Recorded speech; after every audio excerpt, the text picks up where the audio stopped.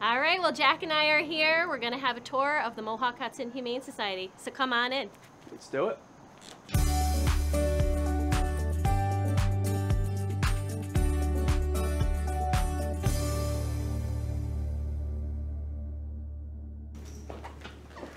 So where are we now? So this is where everything first starts. This is kind of our welcome adoption desk, and this is where we start all of our matchmaking. Matchmaking. How many matches do you make in an average year?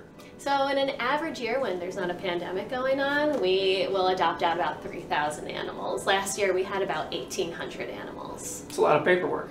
It is, but It's you all know, right here? it's all right here. This is where people come in, they fill out that paperwork, and then we could start making some forever families.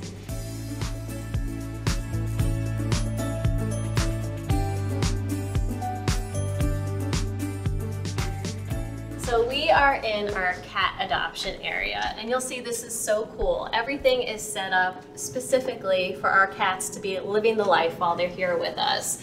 They all live in these four story condos so that way there's a place to eat, sleep, play, and do their business. But there's plenty of enrichment that all of our animals get. Either if it's toys or scent work, there's all sorts of fun stuff. I'm reading here 200 cats. Yes, we can house up to 200 cats and small animals in this beautiful building. It's incredible. And there's all different kinds of cats. As you can see, we've got our spirit room here. Oh. They do yoga? Is goat yoga? Is There cat is. yoga the next we thing? We do have cat yoga classes. We Love can't that. wait till we could get those going again. Um, you know, again, something else COVID has taken away. But um, no, our spirit cats are kind of a cat for your cat. A And- cat for your cat. A cat for your cat. Catception. Yeah. So what actually happens in there? So they're not going to be your typical lap cat. They're not the most friendly cat of coming out and purring and saying hi to everybody, but they're the ones that maybe will bring your other cats out of its shell.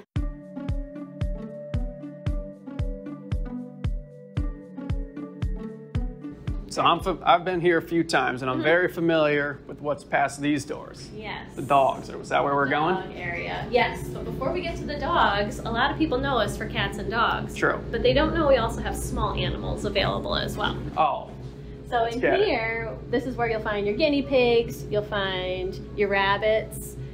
We have had some interesting creatures in here as well. what's the most peculiar one that's ever come through these doors?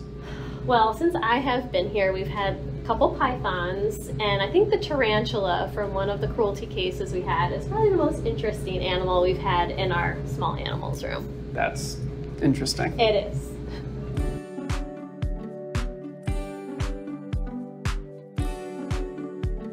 All right. So I'm not biased, but I am kind of a dog guy. Yeah. That's where we're going. Tell me Yes. some some dog facts. Yeah, so over here we have our adoption area. These are all the dogs that are available for adoption. There's about 36 kennels in there.